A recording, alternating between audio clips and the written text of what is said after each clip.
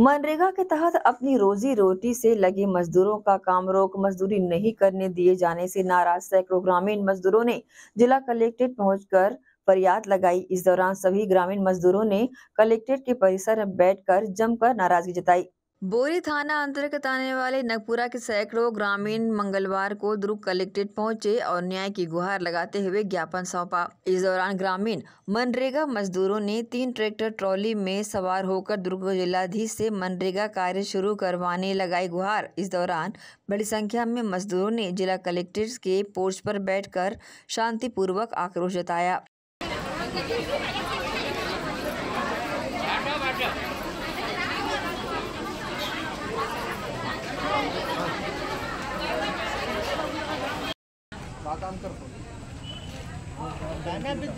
खेती बाड़ी और तो थोड़ा भी रोज़गार हाँ, रोज़गार के चक्कर बंद कर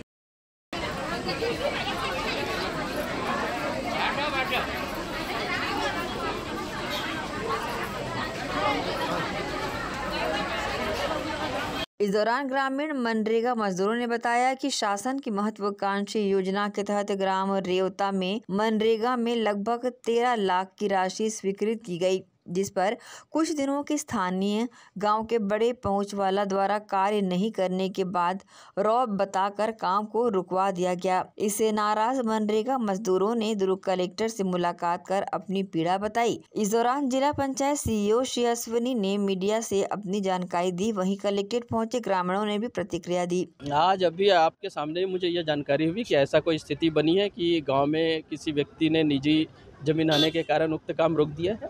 जाँच कराएँगे और जाँच कराने के बाद जो भी विधि सम्मत कार्यवाही करते हुए उस गाँव में रोज़गार उपलब्ध कराएँगे। वर्तमान में लोगों को आश्वासन दिया गया है कि अगर उक्त काम की जाँच में कुछ दिवस लगेंगे तो भी अन्य कार्यों के माध्यम से लोगों को काम दिया जाएगा ताकि उनके रोज़गार में कहीं कमी न रहे। हाँ रोज़गार गारंटी के लिए ज़मीन, पटवारी से नक्शा खसरा लेन वहाँ से पास हुई, स्वीकृति पास हुई, चौदह लाख की। करीब डेढ़ दो एकड़ के एरिया है वो। तो उसके पीछे में दो चार एकड़ किसी व्यक्ति का ज़मीन है। व्यक्तिगत ज़मीन उसके पीछे में पचास एकड़ और प्लाट है मतलब किसान का। तो हम लोग एक तरफ़ से कोई भी तरफ़ से वो बीस फीट का चौड़ा रोड दे रहे हैं उसमें वो आपत्ति कर रहा है कि मेरे ज़मीन का वैल्यू ख़त्म हो रहा है शासकीय काम तालाब जैसा बन रहा है उसमें आगे पीछे मेरे ज़मीन का वैल्यू हो जाएगा इस कारण वो रोक रहे हैं। अशोक अशोक राजपूत वो अपने गाँव के रहने वाले हैं लेकिन फ़िलहाल वो कोहकम निवासी हैं। लोग ये चाहते हैं कि ऐसा नहीं होना चाहिए कि वो शासकीय ज़मीन है और शासकीय जगह बन रहा है उसको बनने बनना चाहिए। ऐसा अगर रोकेंगे तो हम कल के डेट में हमारे पास जगह है।